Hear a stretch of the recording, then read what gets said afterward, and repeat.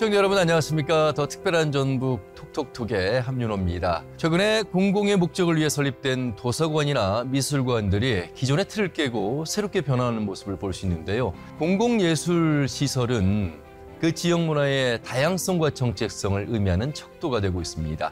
그래서요, 공공예술 시설들의 변화는 그 도민 문화 의식 수준이 그만큼 높아졌다는 것을 의미하고 있기도 하다고 합니다. 전북 안에 도림미술관이 그 공공예술 시설들의 변화의 대표가 되고 있는데요. 올해 개관 20주년을 맞이했다고 합니다. 이혜선 도림미술관장을 모시고 말씀 나누도록 하겠습니다. 관장님 어서 오십시오. 아, 안녕하세요. 네. 안녕하세요. 예. 오늘 같은 날은 도림미술관에 가서 이렇게 방송을 하면 좋았겠다 이런 생각을 해봅니다. 네, 네. 정말 그 요즘 굉장히 따뜻해지고 있어서 예. 도림미술관에 오시면 더 포근한 하루를 보내실 수 있을 것 같아요. 봄, 여름, 가을, 겨울 할 것 없이 어, 많은 행사들이 준비되어 있고 많은 분들이 발걸음하는 곳이죠. 네, 저희가 연중 그 전시뿐만 아니라 복합문화 프로그램을 계속 진행하고 있어서 다른 어느 기관보다 언제고 오시면 다양한 행사와 다양한 전시를 보실 수 있습니다. 예, 우리 도민들이 전북 도림미술관을 어떻게 기억하고 있을까? 많은 변화가 일어났어요. 외형적인 변화, 내적인 변화. 우리 관장님 함께 하시면서 겪었던 1년 6개월 회고를 한번 해주신다면요. 1년 6개월이 때로는 뭐 한 달 반 달포처럼 느껴지기도 하고 16년처럼 느껴지기도 합니다. 그 가장 크게는 일단 두 가지 지점을 말씀드려야 될 것 같아요. 저희가 내면적으로는 연구기관이라고 하는 부분을 좀 강화하고 있습니다. 이전에 미술관이라고 하는 곳이 전시만 하는 공간이 아니라 연구를 기반으로 하는 연구단체처럼 어, 사실은 그 기능을 하고 있는데 그 기능이 조금 약화되어 있었던 건 사실이에요. 그, 기, 그 부분을 굉장히 강화하고 있고요. 다른 하나로 가장 크게 또 말씀드릴 거는 전북 도립미술관이 거점 미술관이라고 하는 것을 잊지 않으려고 하고 있습니다. 그러니까 이전에 제가 부임하기 전에는 전북 도립미술관 자체로도 굉장히 중요한 행사들을 많이 하셨는데요. 저는 그 행사의 모든 것들은 전라북도 시군 전체의 다른 공립미술관과 함께 할 때만 그 의미가 있다고 생각하고 있습니다. 그래서 전북 도립미술관이 전라북도의 거점 미술관이자 연구기관이라고 하는 도립미술관의 자기 자리, 정체성, 확립을 위해서 가장 많이 노력한 1년 6개월이라고 말씀드릴 수 있을 것 같습니다. 예. 보통 이제 전시 공간으로서의 도립미술관에서 우리 다른 시군과의 공공미술관과 연계해서 함께 어떻게 프로젝트를 어, 준비하고 진행할 것인가 어떤 이런 좀 깊은 가치가 내포되어 있지 않을까 싶은데요. 전체와 같이 함께 가는 부분 분명히 네 그 부분에 대한 말씀은 저도 네 동의하고요. 앞부분의 연구는 사실 어렵다기보단 만약에 텔레비전 프로로 얘기한다면 다큐멘터리처럼 생각하시면 될 것 같아요. 그러니까 다큐멘터리를 하고 싶다고 카메라를 메고 아 오늘 찍고 오늘 방송하지 못하듯이 아, 그렇죠.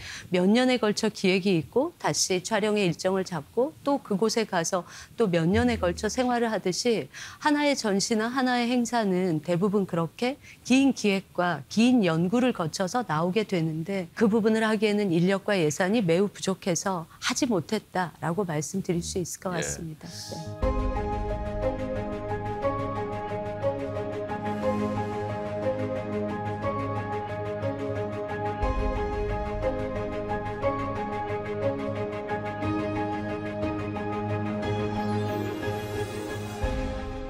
도립미술관 하면 저부터는 뒤 배경이 모악산이 한 폭의 그림인데 그 그림 속에 또 다른 그림을 전시하는 공간이 생겼다는 것에 대해서 어, 주민으로서 또 도민으로서 상당히 예, 자부심을 갖게 됐습니다. 지금 20년의 어떤 미술관의 위상을 우리 관장님께서 오셔서 보셨을 때 어떻다고 보세요? 그림 같은 산 안에 그림을 놓는 또 다른 공간이 만들어졌다는 네, 함 아나운서님의 표현은 너무 멋진 것 같아요. 네, 기억하겠습니다. 네. 네. 지금 20년의 도립미술관의 역사를 되돌아본다면 몇 가지 평가할 지점과 아쉬운 지점들이 좀 남는 것 같습니다. 일단 전북 도립미술관이 출발한 것은 대한민국의 전체 광역시도의 미술관이 현재 11개가 존재하는데 그 11개 중에서는 매우 빠른 편에 속합니다. 또 도립미술관의 특징이 하나가 있는데 아, 실제로 지금 저희 도립미술관의 소장품이 2068점입니다. 오. 굉장히 많죠. 지금 국립현대미술관이 만 점을 조금 넘었을 뿐이고요. 서울시립미술관이 6천 점을 조금 넘었습니다. 그다음에 광주와 부산이 지금 어, 광주가 5천 점, 그 다음에 부산이 2천 점대, 2,900 점대인데 광주나 부산은 대형의 컬렉션이 존재합니다. 그 얘기는 하정웅 컬렉션처럼 소- 전체 소장품 중에 절반 이상을 기증한 사람이 있는 거죠. 그렇게 따진다고 하면 전북도립 미술관은 어, 광주, 부산 그리고 저희 연이어서 사실은 네 번째로 많은 소장품을 소장하고 있습니다. 그럴 만큼 소장품을 그렇게 모았다라고 하는 거는 전북도립 미술관이 무엇에 신경을 썼는지를 알 수 있다고 생각해요. 전북도립 미술관은 전라북도 작가들의 모든 작품을 모으는데 최선을 다한 20주년이었습니다. 다만 이제 여기서부터 이제 조금 네. 아쉬움이 생기죠. 작품이 수집되면 그것은 바로 연구되고 그것의 의미를 확장해줘야만 되는데 사실은 그러기에는 어, 인력이 너무 적었습니다. 그러니까 평균과 유사한 부분이 아니라 훨씬 낮은 인력과 예산이었기 때문에 감히 아마 하기 어려웠을 거라고 생각하고 있습니다. 그런 와중에도 끝끝내 이끌었던 역대 관장, 학예실장 그리고 학예팀 구성원들에게 진짜로 노고가 많았다고 생각할 만큼 많은 소장품을 모으고 전시를 했습니다. 이제 저희가 남은 건 그런 소장품을 기반으로 해서 연구를 더 해나가는 예. 것뭐 이것들이 필요한 역할이라고 생각하고 있어서 20년을 평가한다면 대단히 애쓴 20년이었다. 이제는 또 새롭게 그걸 기반으로 다시 나아가, 봐- 나아가 봐야 된다라고 생각하고 있습니다.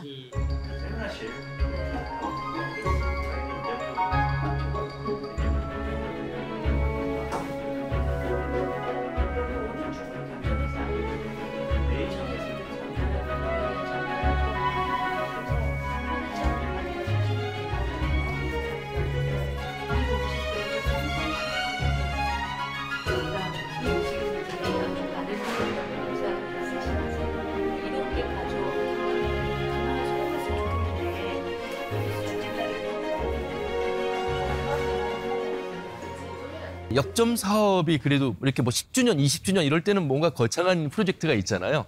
20주년 개관의 어떤 프로젝트는 어떤 게 있습니까? 굉장히 많은 소장품을 가지고 이제 무엇을 할 건지 향후 10년의 계획을 좀 세워야 될 거라고 생각하고 있습니다. 저희가 앞으로의 10년을 계획하기 위해서 가장 지금 작년 하반기부터 역점을 두고 있는 것은 두 가지 정도를 말씀드릴 수 있을 것 같아요. 그 하나가 아카이브 연구센터입니다.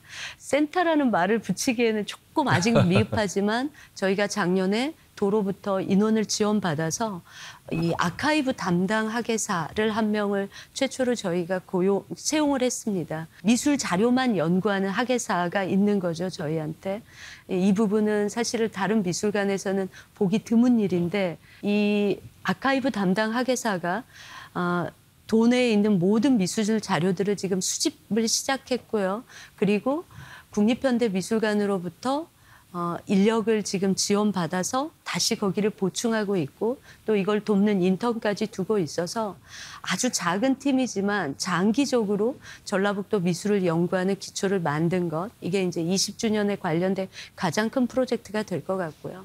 다른 하나는 계속해서 그 여러분들이 관심을 가지고 계시는 전라북도 전체 영역에 있는 공립미술관 학예사가 전체 연결되어서 같이 무엇을 해보는 것들 이것들이 가장 어, 장기적으로는 앞으로의 10년을 내다보고 하는 일이 될 것 같습니다.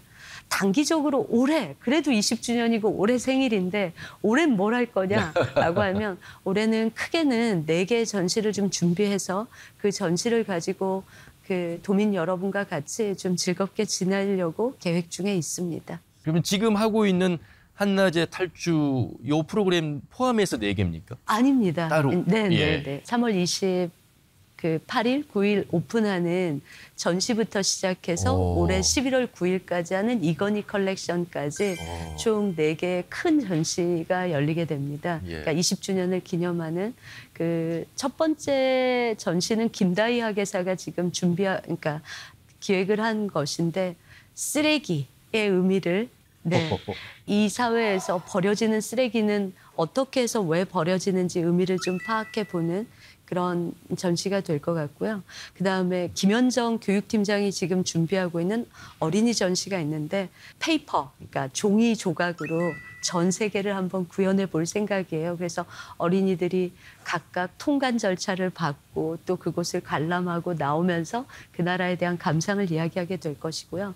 다른 하나는 아카이브 지금 연구센터의 결과물이 될 텐데 도립미술관의 작가로서 굉장히 많은 작품을 기증하고 특히 이번에 530점점에 관련된 귀중한 자료를 저희한테 기증한 문복철 선생님의 전체 삶을 좀 되돌아보는 전시가 있고요. 마지막에 이제 오랫동안 기다리시는 정우석 학예팀장이 총괄하고 있는 이건희 컬렉션이 올해 20년을 기념하는 네, 대형 전시 4개가 될 것 같습니다.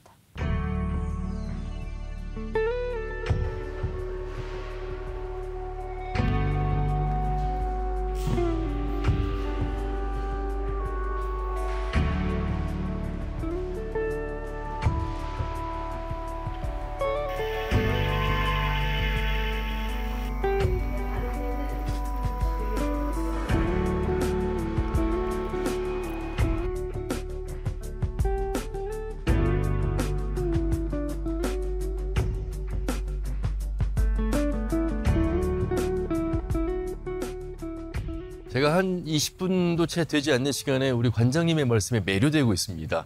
사실 왜냐하면 학부에서 미술을 전공하신 분은 아니셨고 미술 애호가로 활동하시다가 어떤 계기가 있으셔서 이렇게 어, 이 세계에 오신 거예요? 저는 사실 미술관에서 하는 자원봉사자로 출발했다고 오. 말씀드려요. 그 국립중앙박물관에 약 9년 동안 자원봉사자였습니다. 그러니까 좋은 시간이었어요. 재미있고. 그리고 국립현대미술관의 자원봉사자이기도 했습니다. 그러다 갑자기 그 직원을 하면 어때냐고 제안을 해서 국립현대미술관의 직원이 됐어요. 음, 그 다음에는 이제 교육 강사 역할을, 교육 프로그램을 기획하고 하는 역할을 했는데, 한 작품 10점을 새벽에 싣고 차에 그 경기도 일원의 작은 초등학교를 가서 그림을 쭈르륵 늘어놓은 다음에 그림을 가지고 토론하는 프로그램이었어요.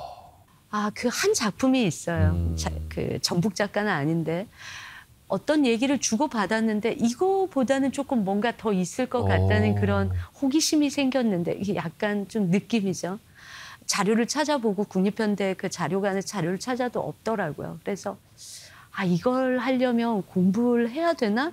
라고 생각해서 어, 속 없이 너무 쉽게 대학원을 다시 들어갈 결정을 하고 그 다음에 이제 미술사에 쭉 빠져 지낸 뭐 시간을 보내게 됐던 것 같습니다. 좋아했던 일이 네, 네. 이제 전문성을 가진 직업이 됐고 이제 도리미술원의 관장까지 하게 되셨습니다. 예.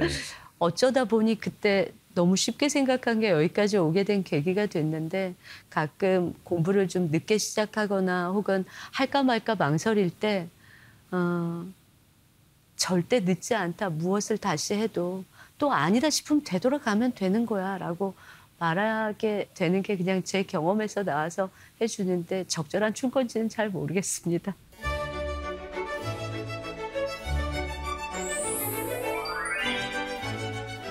공공미술관이라고 하는 게 우리 지역에 지금 도립미술관을 포함해서 아홉 개가 있는 것으로 알고 있는데 그 아홉 개의 미술관이 어떤 역할 또 도민들에게는 어떤 존재일까 어떤 공간일까 이런 질문을 드린다면요.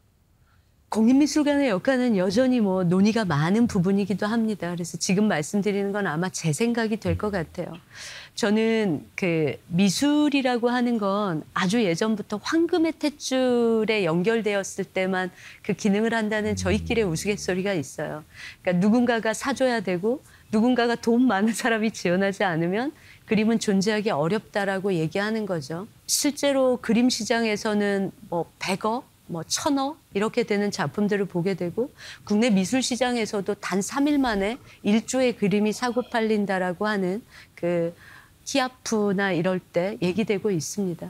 그만큼 미술 시장은 거대한 자본 시장이자 또 많은 그 부를 가지고 계신 분이 안전자산이라고 해서 절대로 실패하지 않는 어, 투자라고도 얘기하죠. 하지만 그림은 그런 투자나 자본의 논리를 벗어나서 무언가가 무언가를 얘기하고 싶은 사람들이 자신의 이야기를 시각, 그림, 조각으로 얘기한다고 생각하고 있어요. 가난한 예술가는 전체 예술가의 99%입니다. 그럼 그들이 그 얘기를 할 수 있는 공간이 있어야 되고 또 그렇게 이야기하다가 사라진 사람들을 연구해서 의미를 확장해 주는 것도 저는 반드시 필요하다고 생각합니다. 이런 일들은 많은 돈과 예산이 필요하고 그런 역할을 하면서 시민들과 같이 향유하는 건 국립미술관만이 할 수 있는 일이라고 생각하고 있어요. 그래서 국립미술관은 돌아가신 김대중 대통령이 말씀하셨듯이 팔거리 원칙이라고 해서 지원하되 간섭하지 않는 그리고 충분한 지원을 하는 이런 어, 곳이라고 생각합니다. 많은 분들이 돈 먹는 하마라고 자꾸 얘기하시는데 그렇지 않고 우리 모두가 다른 이야기를 들어볼 수 있는 그런 공간이라고 생각해서 어, 국립미술관은 없으면 안 되는 반드시 있어야 되는 그리고 가장 많은 관심과 지원을 받아야 될 곳이라고 생각하고 있습니다. 없는 시군도 있잖아요. 그러면 네, 지금 네. 도 포함해서 아홉 개면 열네 개 시군이니까 여덟 개 시군에 지금 공공미술관이 공립미술관이 있다. 나머지 없는 곳들은 이제 도립미술관을 통해서 함께 향유하면 될 것 같은데 그 여덟 개 시군의 공공미술관 관장님들 또 학예 연구사분들과의 긴밀한 접촉을 하고 계시다고요. 네네. 제가 22년 왔을 때 가장 먼저 만들었던 연석회의가 국립미술관 학예사 연석회의였습니다. 그러니까 모두가 다 일단 모여보자고 했던 이유는 모이면 뭔가 만들어지지라고 하는 그런 단순한 얘기는 아니었어요. 왜냐하면 어, 도립미술관을 제외한 나머지 국립미술관의 학예사는 한 명입니다. 대부분. 어허. 물론 남원시립미술관처럼 세 명을 고용한 매우 독특한 곳도 있지만 대부분은 한 명 아니면 두 명이에요. 한 명이서 모든 일을 다 하고 있죠. 물론 시구는 더 어려워서 더 그러시겠지만 그러면 혼자서 할 수 없는 일들이 너무 많습니다. 다 같이 모이면 우리가 좀 일을 분담하고 나누고 서로 도우면 좀 나아지지 않을까라고 생각해서 서로 생각을 공유하고 그다음에 본인들이 전시 기획한 거를 발표해보고 이건 누구한테 말할 곳이 없잖아요. 그래서 여기 와서 발표하고 의견을 주고받고 하면서 그러니까 일종의 음, 이렇게 하나로 같이 일하는 사람인데 각각 나가서 파견 나간 것처럼 이렇게 말씀드리면 시군의 학예사 선생님들이 저를 누구 맘대로 하실 것 같은데 약간 그런 의미를 더해서 네. 다 같이 모여서 이야기해보는 테이블을 23년 1년 내내 매달 했고요. 아. 그리고 올해도 벌써 두 번, 이제 세 번째 회의가 매달 말에 하기 때문에 바로 열리게 됩니다. 우리 그 학예 연구사분들과의 한 달에 한 번씩 연석 회의를 통해서 공동으로 전시회를 여는 것도 우리 도민들을 위한 어, 다가가기 위한 발걸음이 아니었을까 생각이 듭니다. 네, 네. 지금 공동 기획은 일종의 음, 약간 분업화된 공동인데요. 그 남원 시립 미술관 같은 경우가 저희가 수장고를 전체를 다 열어드리고 있어요. 그 오.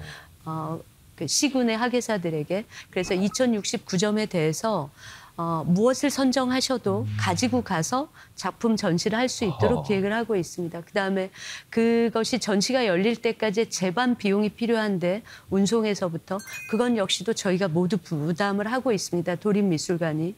그래서 가장 재료가 되는 소장, 어, 소장품, 작품 그리고 비용을 저희가 하고 대신 그 기획 부분에서는 같이 논의를 하면서 진행하고 있는 거죠.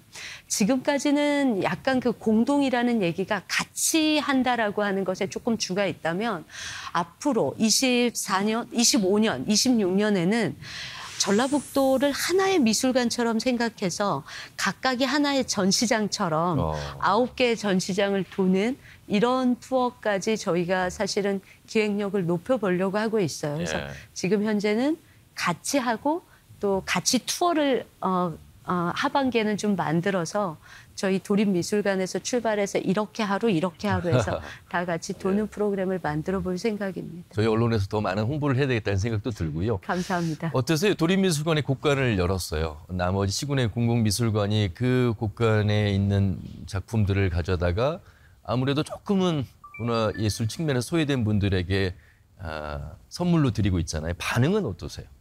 대부분 미술관이 1년 동안에 1%도 자기 소장품을 다 드러내지 못한다고 말하고 있어요. 그런데 이 지금 시군과 함께하는 찾아가는 미술관을 통해서 저희가 나가는 작품이 대강 400점이에요. 그러니까 굉장히 많죠. 하나의 전시가 대강 한 50점 내외로 그렇죠. 이루어지는 전시가 많으니까 이거는 지금 전시가 거의 10개가 소장품으로 열몇 개가 이루어지는 셈이거든요. 그러니까 저희도 거기 가서 굉장히 오래간만에 소장품을 보게 되고요. 또 시군에 계신 분들도 도립미술관이 여기까지 와서 하는데 우리 학예사가 같이 하고 있기 때문에 두 가지 뿌듯함을 음. 느끼시는 것 같아요. 그러니까 우리 시군에 있는 학예사가 정말 애 많이 썼다 라고 칭찬도 해주시는 네. 것 같고요. 그다음에 도립미술관에 이런 작품들을 여기까지 가져왔어. 그래서 또 칭찬해 주시는 것 같고 다음번에는 좀 더 보고 싶은 또 다른 작품들 또 가져와라고 격려도 해주시는 것 네, 같습니다. 예. 살아있다는 것이 아, 이렇게 숨을 쉬고 있는 것인데 수장고 안에만 있을 때와 아, 이 작품들도 우리 전라북도의 14개 시군을 돌아다니면서 자기 역할을 할 때 아, 그 작품도 살아있다라는 생각도 들고 그 작품을 보면서 우리 도민들도 문화예술 측면에서 우리에게 살아있음을 보여주고 있구나. 함께 소통하고 공감하고 앞에서 말씀 하신 향유와 공유가 아닐까 싶습니다. 올해도 그 찾아가는 시군 공공미술관 사업은 계속되죠? 네, 네, 그럼요. 저희가 올해는 상반기, 하반기 두 번으로 여는데 상반기에는 작년에 했던 것처럼 이렇게 같이 공유하는 거고 하반기에는 아까 말씀드린 그 투어 그리고 하반기에는 교육 프로그램까지도 같이 뭐. 해보려고 하고 생각하고 있어요. 그래서 이번에도 저희가 교육 키트를 만들고 그리고 그거를 저희가 가지고 가서 그곳에 있는 학예사 선생님과 같이 이렇게 교육 프로그램까지 그 시군에 있는 작은 학교에 가서 하는 것까지 지금 기획 중에 있습니다.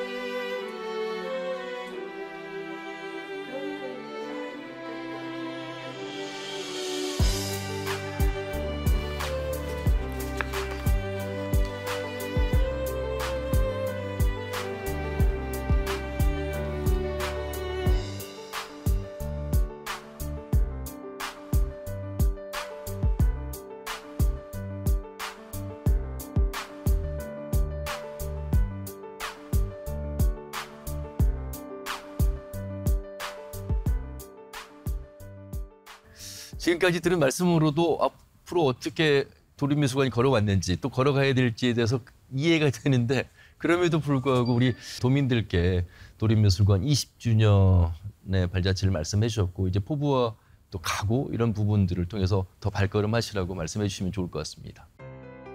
아, 도립미술관은 전라북도, 그러니까 전북특별자치도의 보물이 될 거라고 생각하고 있습니다. 또 그래야만 되고요. 아, 미술은 저는 다른 예술 장르와 달리 어, 남녀노소, 그 다음에 어, 그가 가지고 있는 어떤 배경과 상관없이도 이야기를 나누고 토론을 할 수 있는 장르라고 생각하고 있어요. 또 하나는 순간적으로 보고 그 다음에 생각하기 때문에 글을 알든 모르든 그 다음에 어, 또 다른 것이 있지 않든 그 다음에 뭐 특히 시각장애인 같은 경우에도 그림을 설명하는 것들이 있어서 장애가 있고 없고의 유무를 떠나서까지 모두 얘기를 해볼 수 있는 곳이 예술 장르라고 생각하고 있습니다. 또 하나 미술에 대해서 말씀드리고 싶은 거는 아, 미술이라고 하는 것은 지금 현재 무언가 다른 생각을 가진 사람이 일부러 굳이 문제를 일으키면서 우리가 이 문제를 얘기해 보자라고 사실은 소리 지르는 장르입니다. 그래서 미술을 통해서 새로운 이야기, 우리가 훅구 무시하거나 혹은 외면하고 싶은 이야기를 하는 공간이 저는 미술이라고 생각하고 있거든요. 그런 공간이 있어야만 사실은 우리가 조금 더 더 새로운 미래를 꿈꿀 수 있다고 생각하고 있어요. 아, 오셔서 편안하게 보셔도 되고 오셔서 또 깊은 논의를 하셔도 상관 또 그러면 더 좋을 거라고 생각하는데 미술관이 20년 동안 너무너무 열심히 작품을 성실하게 모아왔습니다.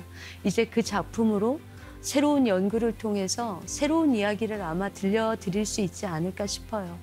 그 이야기를 함께 같이 나누는 그런 공간이고 싶고 또 그렇게 되, 되면서 도민 여러분에게도 미처 생각하지 않았던 이야기 혹은 생각하고 싶지 않은 이야기들을 그래도 생각하는 공간으로 자리 잡고 싶습니다. 여러분 올해로 스무 살된 도립미술관 많은 외형의 변화도 있다고 말씀을 들으셨죠? 어, 방문하시고요. 저는 따뜻한 봄날 우리 관장님 차 한 잔 마시러 가서 그림도 보고 어, 여유도 느끼고 또 미술에 대한 공부도 어, 하러 갈겸꼭 한번 가겠다는 말씀드리겠습니다.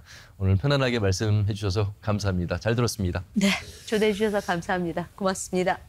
네, 아, 도민들 가까이에 있는 공공미술관이 이렇게 많이 있습니다. 그리고 우리 도민들을 위해서 준비하고 있는 보이지 않는 곳에서 일하시고 계시는 우리 학예 연구사분들, 우리가 아, 우리 곁에 있는 공공미술관 또지는 아, 공공 도서관을 많이 찾고 방문할 때 그분들이 또 힘을 내시고요. 그 작품들도 살아 숨쉬어서 그 가치와 역할을 충분히 하는 게 아닐까 이런 생각을 해봅니다. 발걸음 꼭 한번 해보시길 권하면서 마무리하겠습니다. 네, 더 특별한 전목 톡톡톡 오늘 준비한 소식은 여기까지입니다. 오늘도 여러분께서 주신 수신료로 만들었습니다. 감사 인사드리고요. 다음 주 화요일에 더 알찬 소식 가지고 인사드리죠. 함께해 주신 여러분 고맙습니다. 아유, 네, 말씀 잘 들었습니다. 네, 고맙습니다. 감사합니다.